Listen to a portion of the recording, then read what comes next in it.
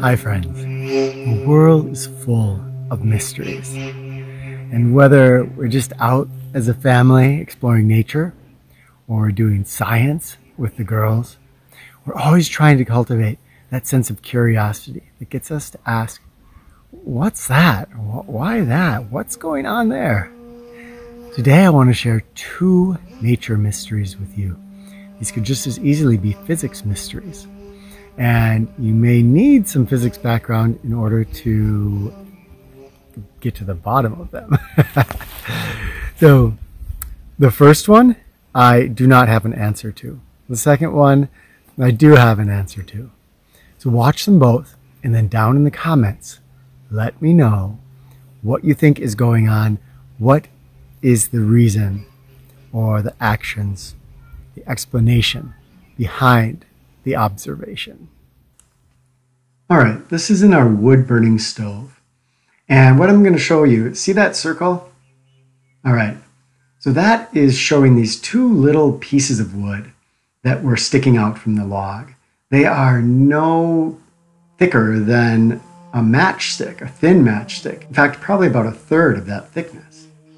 And yet they sit here in this extremely hot environment you can see them being directly hit by the flames and glowing orange, and yet they don't burn away. And this continues to happen and continues to happen. In fact, I watched these for about five minutes before going on to other things, and in that time, they never burned away. Now, how is it that these two little shards of wood that any of us who have started a fire knows those would burn up instantly. Why did they remain and continue to glow but not actually disintegrate into ash? You may have noticed this in your own campfires now and again or in your own fireplace or wood burning stove. If you have, share your story. And Tell us if you know why this happens. What is behind this nature mystery?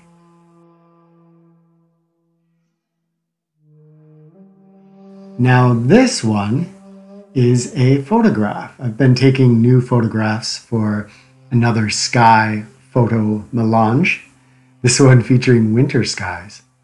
And here it might look like just a pretty sky, but take another look. In particular, look at the light rays coming down from the clouds. You may notice something strange about them. If it hasn't occurred to you yet, look at the angle of the light rays. If the sun is coming from one direction, why do those light rays appear to be coming down in different angles? Again, share your thoughts. Have you witnessed this before? And tell us what is behind this second nature mystery. All right, cannot wait to see what you have to say in the comments. And hopefully, some of you will be able to get to the bottom of that first one for me. Very strange.